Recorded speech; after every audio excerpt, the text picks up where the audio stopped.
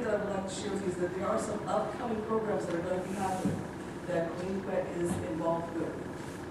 She has a save the date, so if you are interested in learning more about cancer education, there is actually a seminar that's going to be happening on Saturday, April 16th.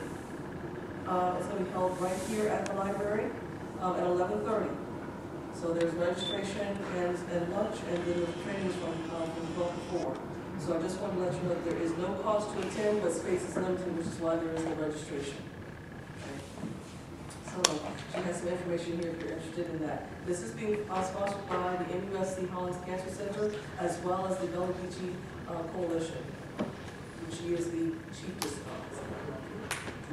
Um, I also with you, she's done something else that's even more magnanimous that just blew my mind away.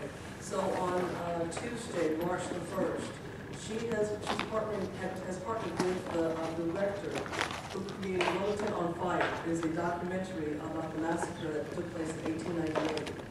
Um, so I hope you get a chance, to- the, um, the director will actually be here, along with be a panel of other folks, including uh, Queen Quet, who will be here to actually speak about, because they're the descendants of the folks who were from the Wilmington era. So they're kind of neat.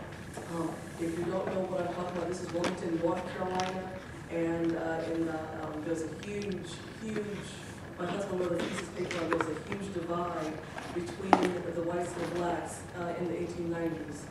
Um, A lot of the folks, like even here, we had our senators, you know, our first African-American senators that were elected, you know, to office. But in Wilmington, North Carolina, although that's, their, their slogan is, you know, first in flight, first, first to fight, they have, they have their own um, struggles, and this was one of them. And one of the struggles was you had individuals that did not want there to be a progression of African Americans in the area. And so there was a massacre that took place. Um, and it's ju- it was a horrific massacre that took place, something you would never envision during that time period in eighteen ninety-eight. And so, um, so please, I hope that you're here to see this, this film. It is a powerful documentary that's been done. Uh, so uh, without further ado, if I may please introduce to you, please give a warm welcome to Queen Quet.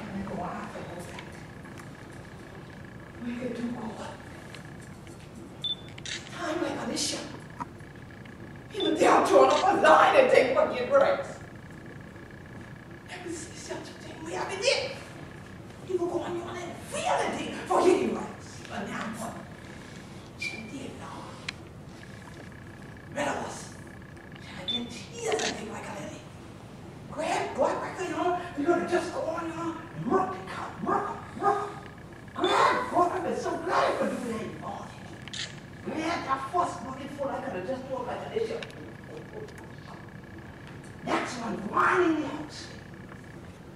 Get you. Yeah. No.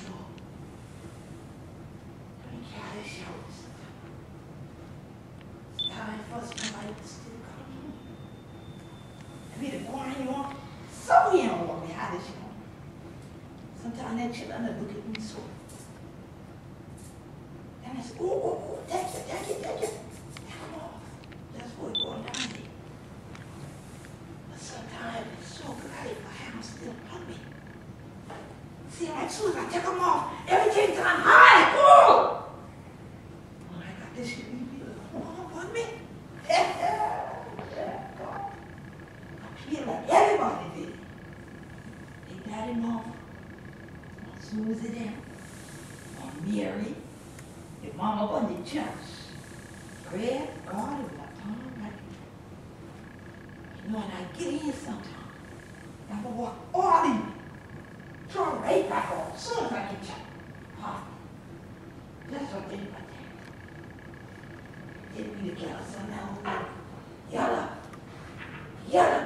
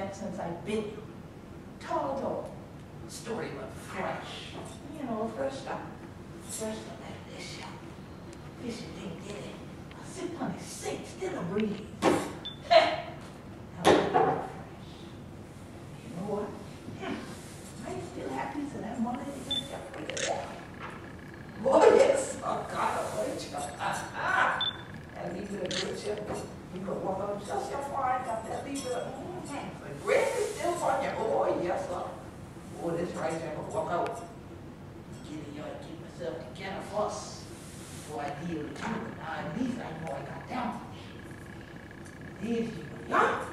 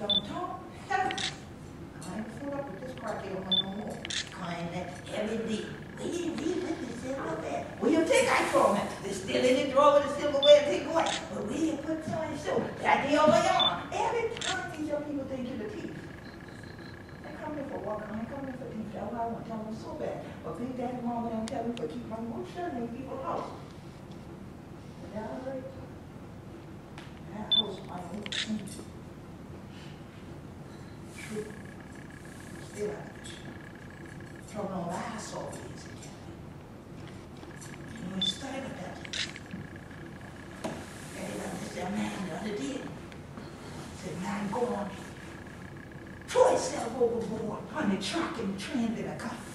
I said, crap, God, how are we going to do this show? They say, lost everything we had. I say, nothing lost everything we had. We sold it, off everything. So how was you trying to sell everything? Then the children said, but you ain't another one. We're going for top one billion yard and true example. See, because all of them lost their money in this thing. We got to be a Stop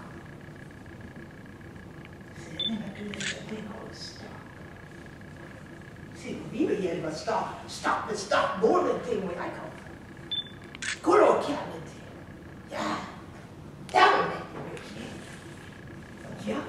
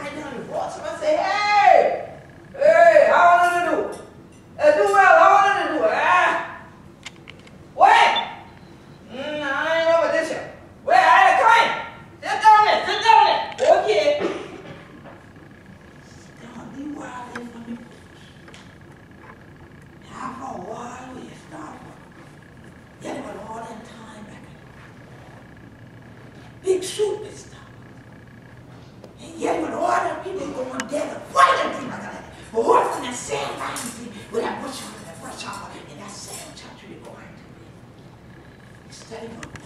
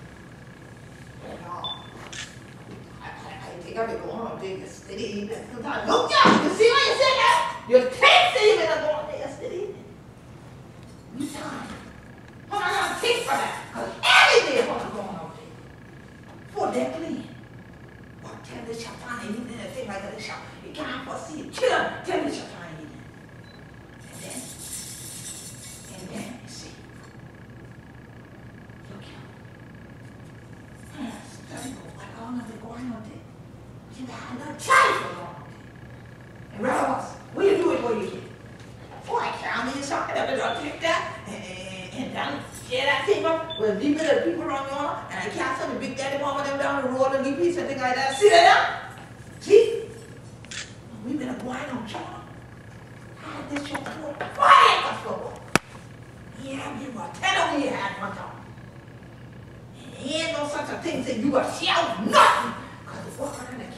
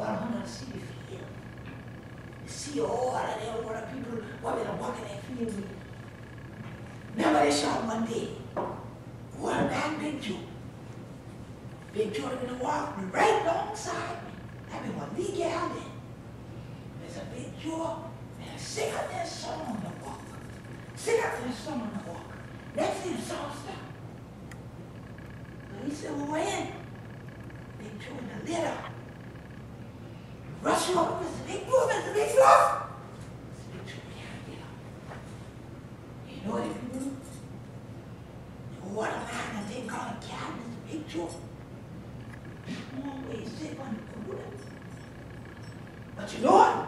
He had to go on right back and keep on the bus. Keep on the walk. Because he had been telling any time you could have got, but you're going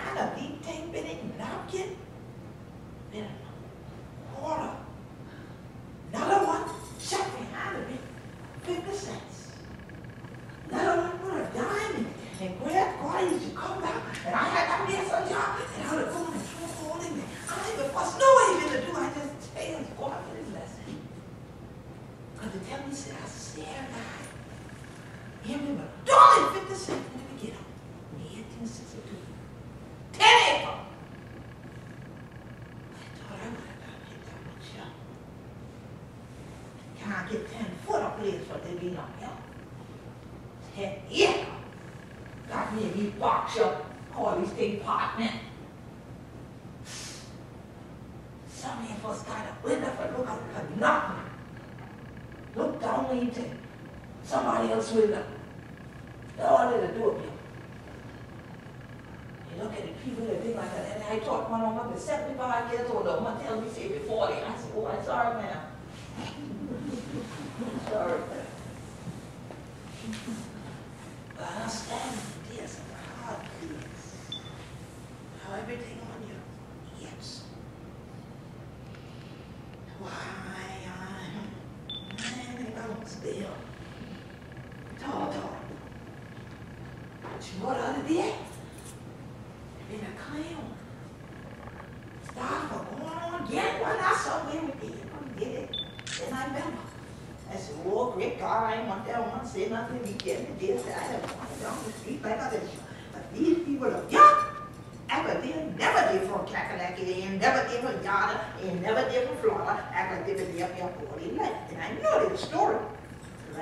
Democratic people want to know.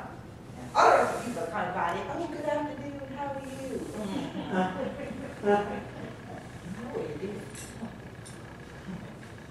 I ain't gonna fuss food up with energy. I ain't gonna fuss get on coming out of me. I think I can walk a little walk. I'm so glad it's the spirit tell me to walk. That it? That is the I find life there. And I go on inside this building. Then I, I, I step up the first. Then I say, oh, no no, no, can I go in there. And I see the other people look like me. And I go on past people and step and go on inside. So well, go in there. I can go in here. And I go on, open the door and peep in. I see plenty of all kind of people be there.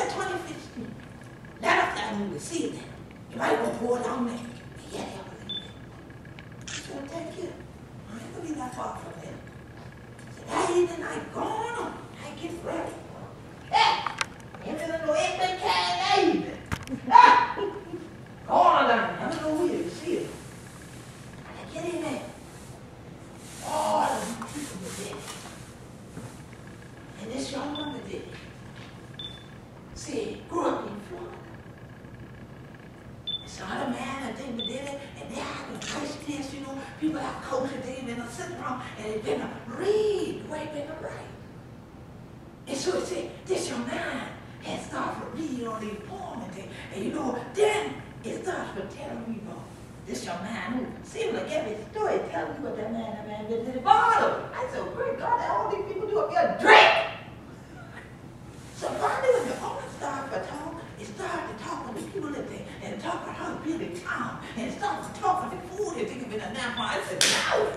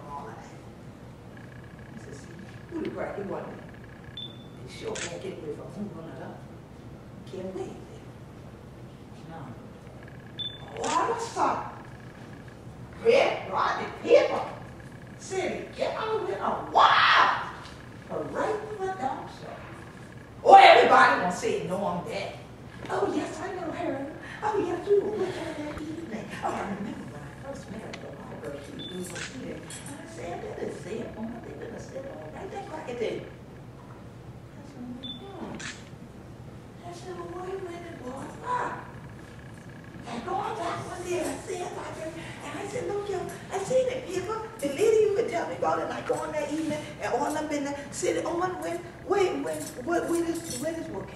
You got him in? She said, um, we had one, but he ain't got too much of copy. You might have to buy him, buy him, buy him to make that much now, I buy a book. How much it cost?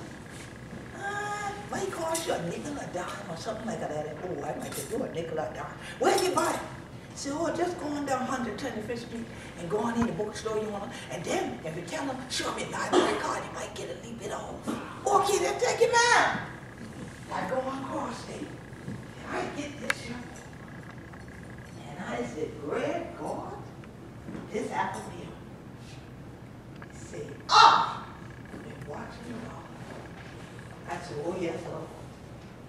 I put down this money for this book. I said, oh, wait now, wait, wait, wait. Give me library card. so they said, okay, we take off the ten percent. Every penny gone, my mom, thank you. Going on that evening, I sit down and I said, oh, great God. That's what's up with that much you gonna be to me that evening. Oh, God bless him. But oh, why does your thing seem like I sit down now and God? Oh, great God, what? Take it. Oh, stop that. But we want to go to get you there with a deal like that. And what? What? You know what you do? Mm-mm. Mm-mm, what? Oh, Lord.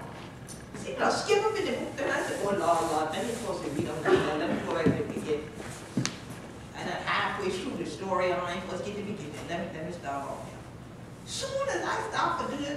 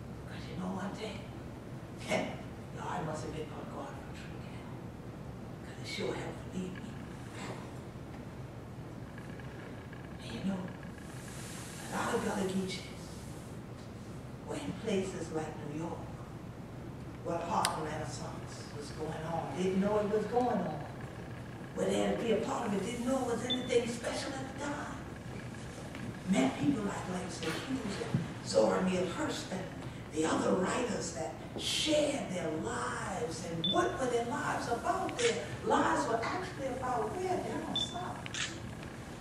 The place that the Great Migration had moved them all away from, or had it really. Maybe physically, but not mentally, not emotionally, could they ever move away from home.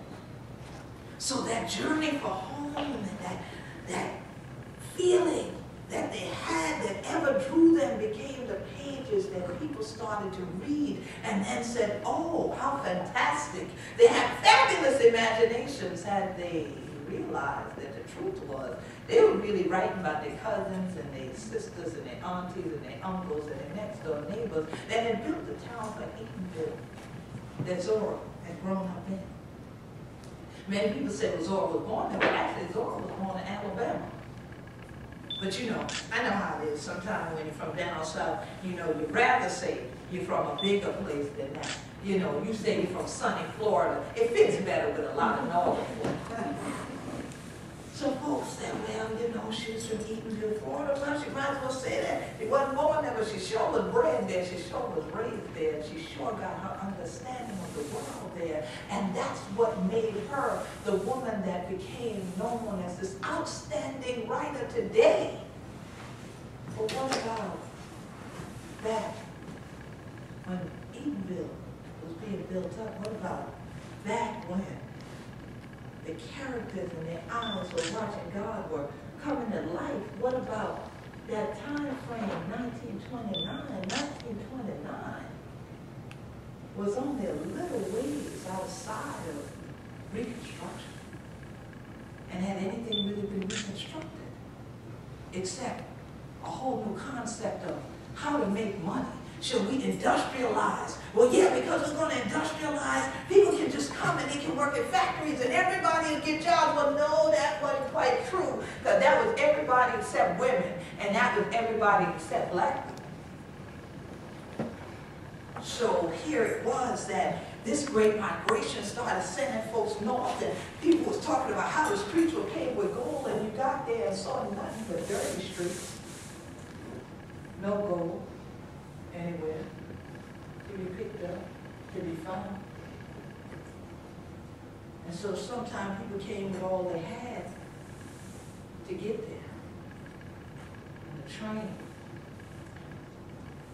somebody's car, that truck with your cousins bringing some of that good old down home food up to the city. You got there and then didn't have anything to get back. Nobody give you nothing. So you had to do what Zora and others had to do, and that was use whatever gifts and talents that you had. And more often not, as a black woman at that time, you knew how to clean the house, you knew how to cook, so you had to use those skill sets, and that's how you survive, that's how you thrive. Now, all the while, the people you were cooking and cleaning for had no idea that you could write. They had no idea that you had literary skills that you could impress your own people with in the evening time when you gathered in somebody else's apartment just a few miles away in Harlem. Here it was a mecca of the South. You know, it was really South-North. That's really what Harlem was, was South-North. Because there was folks from Georgia living in that building right there. The ones from South Carolina was in the building right next to them. The ones from North Carolina was right in that corner over there. And then about half their block over there was from Florida. They were running in that direction instead of running in this direction back then. Seemed like all the trains left going If they weren't going to New York, they were going to Chicago or Detroit. And here our people went with them, taking a brain trust that often then was ashamed to say that maybe up here is not as good as we thought. Maybe we should go back home. So Zora went home in more ways than one. She not only went home in the pavement of her work, she went home by going back to the motherland as an anthropologist, and she went home by coming back to show others who consider themselves people of higher learning, you know, in institutions, how our community had something significant to contribute that all of these faces you're looking at are not ignorant people. They're African people. And Zora even came to my hometown, Beaufort County, South Carolina, and documented the spiritual practices of the people here. And Those works never got into print in her books. But she sure met people right across a couple of printers from here in the city of Beaufort shouting and truly the on God. And so now those works are sitting in the Library of Congress where people are now finally acknowledging how much of a gift and a treasure Zora Neale Hurston was in all of her flamboyance because she was well known for coming on up in place and just shocking them with a nice scarf or something else thrown on, you know, with a nice hat tilted to the side or whatever. You would have never thought that this woman had ever been a domestic worker. You have no idea. But whatever she did by day had nothing to do with what she did in the evenings and on her weekends and what she put down in the pages of her work. But she always yet represented everybody in those works. Their triumphs and their struggles. The storms literally and figuratively in life that we dealt with. So when I think about their eyes are watching God and I think about the fact that this book went out of print for a couple of decades. It was completely non-existent in the literary world, and then all of a sudden, it got rediscovered, and now everyone's acting like, we always loved Zora Neale Hurston. No, you didn't. you didn't. And people say, well, wow, she's such a prolific writer. It's so outstanding. We need to now celebrate her. We need to celebrate the energy, the gift, the richness she brought through these pages. We need to honor her work. We need to honor her life. Because how many people realize that when Zora Neale Hurston, this outstanding writer, this woman who many would call a heroine because she was that person that brought richness to the world through the Harlem Renaissance. She was the queen bee of it all, sitting there amongst all the fellows, you know. Here it is that, you know, Zora could work in and change the way the whole room looked, you know. So here it is that do you believe that a woman that lived a life like this, that had the opportunity she had, when she passed away, they had to take up a collection so that she could be buried. And what they took up wasn't enough to put a headstone at her burial site and for.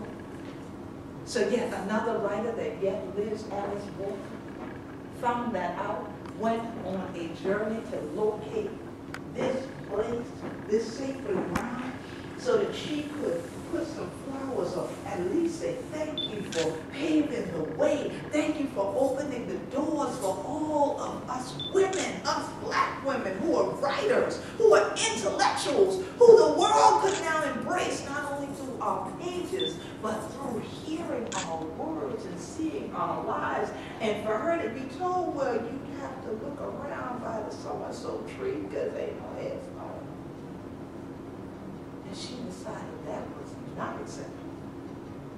So she ensured that when they said, well, that sink is where the Honorable Zora lies, she took her money and put a headstone there so that we could have a place to go back to and know this is where that writer whose eyes were watching God yet lays beneath this earth now. The blood, the sweat, the tears, the bones that often speak to us who are yet writers now, especially from this region, that of African descent.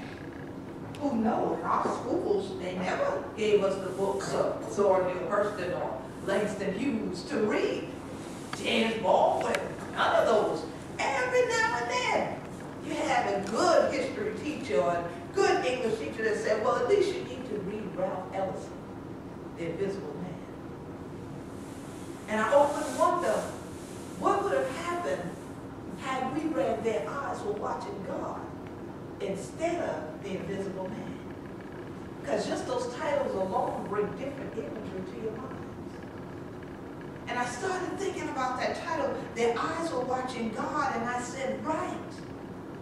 Because in 1929, we were only three years into Dr. Carter G. Woodson even establishing the very celebration of Negro History Week to get other people to even recognize and realize that people of African descent have long since been writers.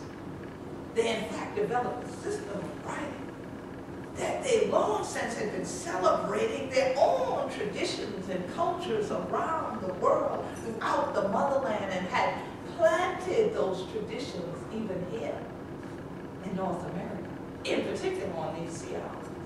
Well, hundred children to get people to crack a heap like they show you go now. When you come out and you meet Gullah Geechees. And so when I thought about it, I said, you know, their eyes are watching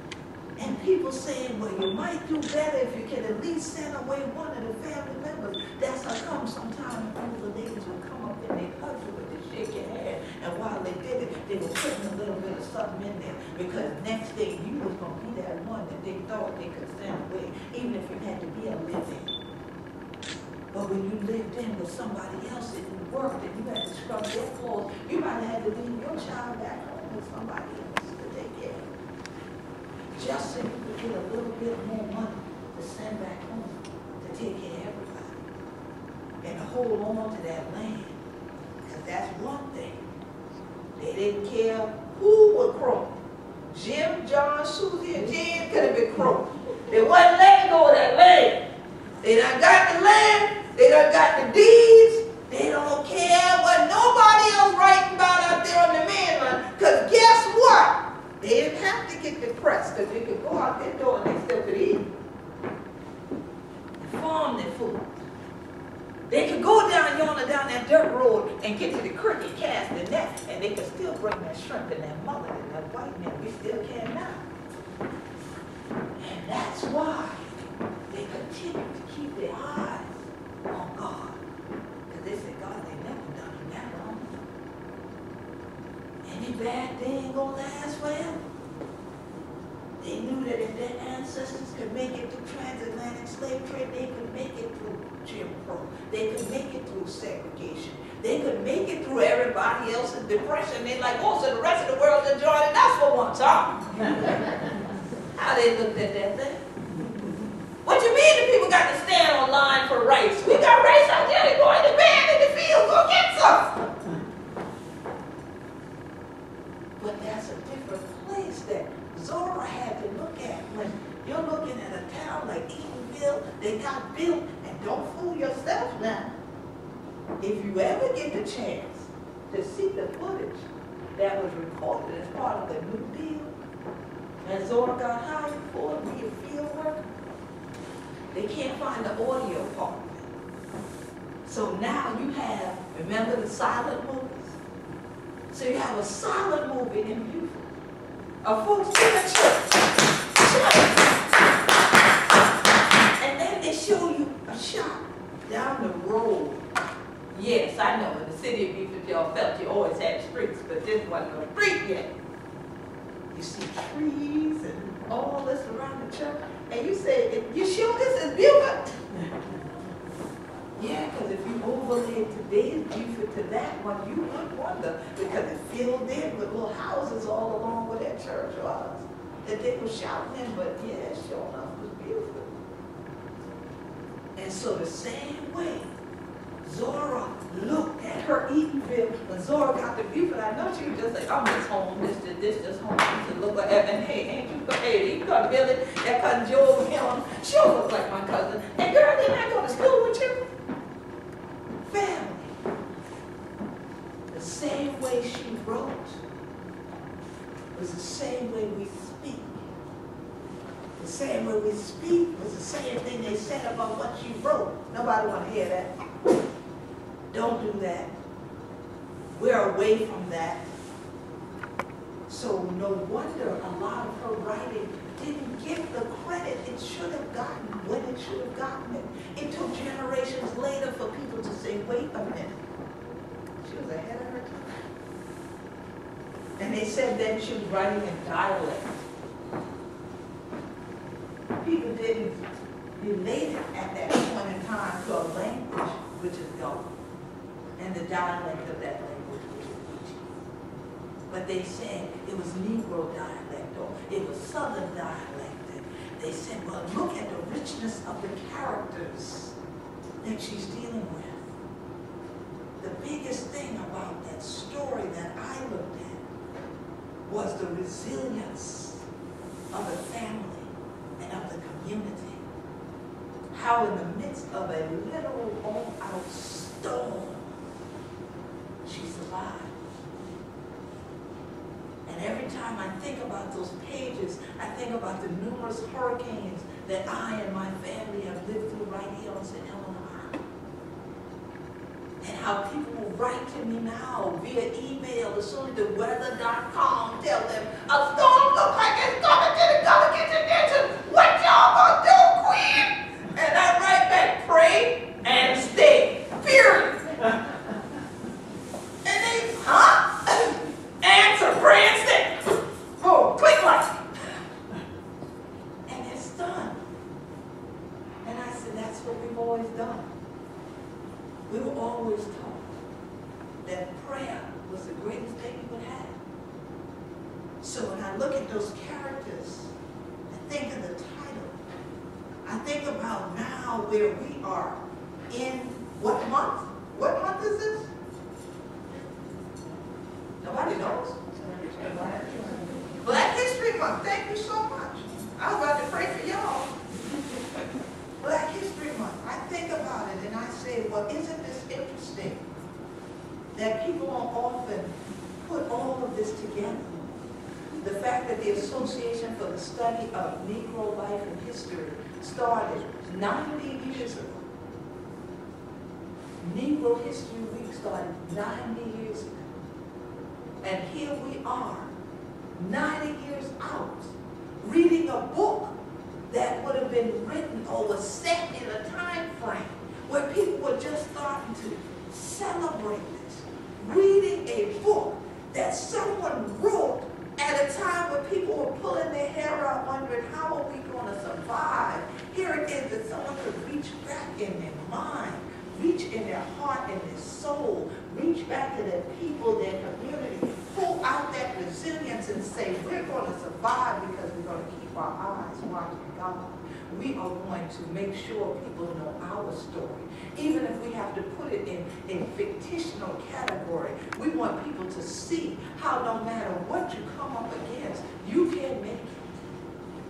And that's what our ancestresses, Gullah women, I often look at things, and I even went back in our archive for the sake of doing my research before tonight.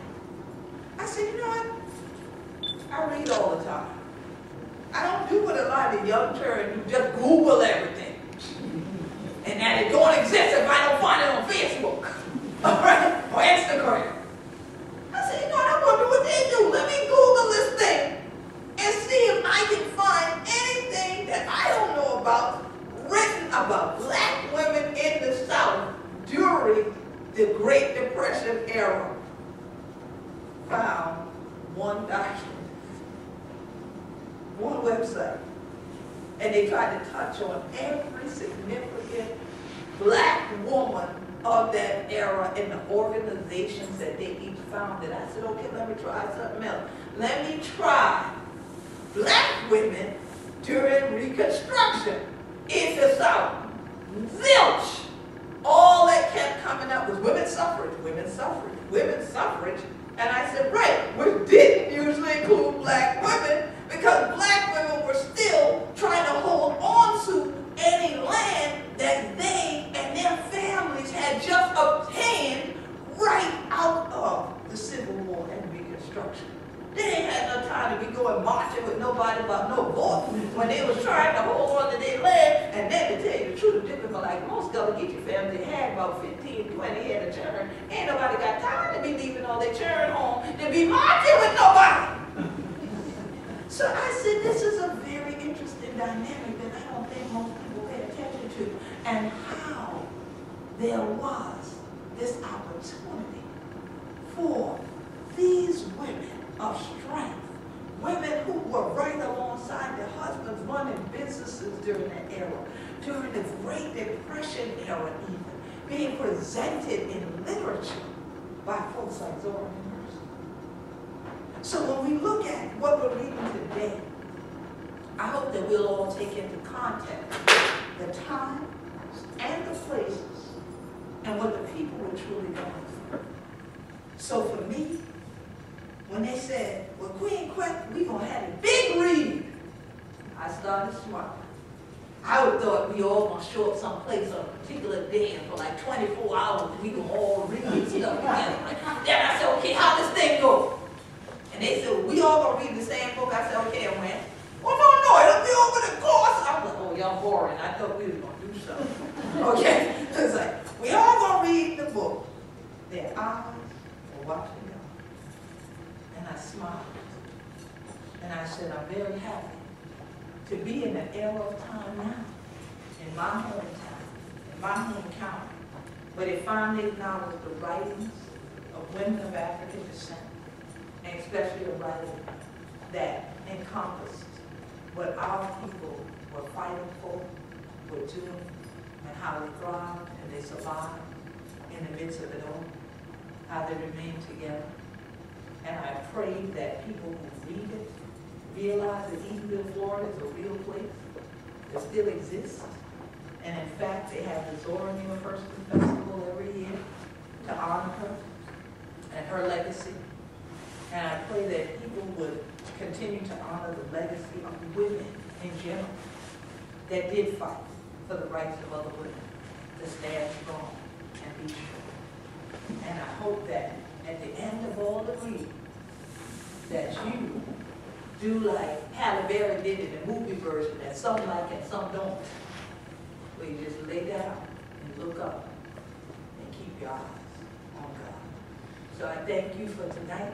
Thank you for coming out and for celebrating Black History Month with us here, which for me is 365, 366. I don't change come on first, I just don't. Um, but this year, this is about sacred spaces, all right? It is about places of sacred memory, hallowed ground places of sacred memory for African Americans. And I think that it's critical that that ties directly into the big read because it gives us a chance to recognize how much of a sacred place is not only Eatonville, Florida, but is this whole region from North Carolina to Florida, actually, is the Gullah Geechee Nation from Jacksonville to Jackson. And how we have a significant part in American history as well as. So I thank all of you for coming out, especially those who were the doorbusters that got here early uh, for coming out. I thank Ms. Ben for us being able to continue this series together. And so as I heard Ms. Ben mentioning, March 1st, we will be right back here and we will have a free screening. And trust me, you want to come in because this movie is not showing free anywhere else in the country. Okay? Uh, Wilmington on Fire, the filmmaker himself, Christopher Everett, will be here. I will be here, and also Kent Chatfield, who's an independent researcher who's in the film, will be here, and we will show the film and then have a discussion afterwards. So we'll have a little bit of snacks that evening because the film runtime is about 90 minutes. And so we'll have at least a 30 or 45 minute discussion following. So bring your friends, bring your family, bring your tissues, bring your handkerchiefs. It's one of kind of. Um, it's one of those kind of documentaries that does hit you. It hits you here. So definitely be prepared, but definitely bring out, if you feel comfortable, bring your grandchildren, your children. because they do need to know this part of the American history story, and especially Black history and LBH history. Thank you so much. please thank Ms. Queen Quet.